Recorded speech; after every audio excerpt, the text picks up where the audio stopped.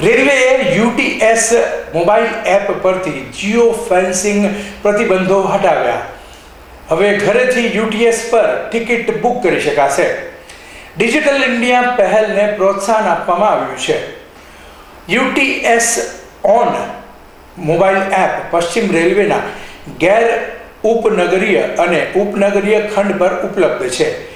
Ticket મેળવવાની આ પદ્ધતિ રેલવે મુસાફરોમાં ખૂબ જ લોકપ્રિય બની છે અને વધુને વધુ લોકો આ મોબાઈલ એપનો ઉપયોગ કરી રહ્યા છે.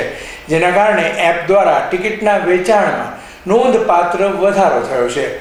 મુસાફરોની સુવિધાને વધુ વધારવા અને મુસાફરો માટે ટિકિટ બુકિંગ પ્રક્રિયાને સરળ બનાવવા માટે ભારતીય રેલવેએ હવે યુટીએસ ઓન મોબાઈલ એપ પર જીઓ ફેન્સિંગ પ્રતિબંધોની બાહ્ય મર્યાદા દૂર કરી છે.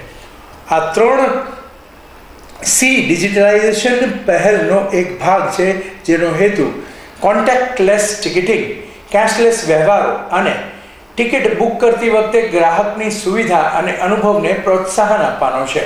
અહેવાલ દીપક રાઠોડ.